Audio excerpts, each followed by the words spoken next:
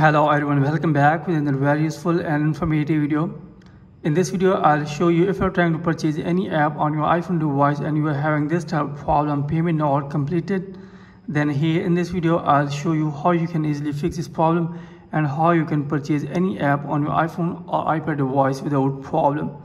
So here, let's start without wasting any time. Here, first of all, open setting on your iPhone or iPad device and here tap on your Apple ID then here tap on payment and shipping. And here first of all you will have to verify your payment method. So make sure that you have entered the correct debit and credit card numbers. And here make sure that you have entered all the information is correct. And if you have entered correct payment information and still you are having this problem then here you will have remove your payment method from your iphone device and again enter payment method on your iphone device. And then after that here you will have review your billing information and make sure that your billing information is correct and country or region and zip code information is you have entered the correct. So if you have entered the correct billing information still you are having this problem then here you will have to go back. And again here you have to open setting then scroll down then tap on general. Then here again scroll down and here we have to search for language and region. Then after that here we have to make sure that your apple region and your device region should be same. So if this region is different then here you will have to change your region according to your apple id and then after that try to download any app or purchase any app and check that the problem fixed or not.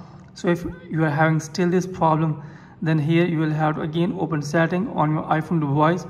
Then here we have to scroll down and then tap on app store on your iphone or ipad device so after that here you will have to scroll it down and here you can see that here's option of app downloads. Here you will need to turn this toggle on. If it is off then here is the option of in-app content. Here you will need to also turn this on. Then here's the option of automated download. Here then here you will need to also turn this on. And here's the option of app downloads. Here tap on this.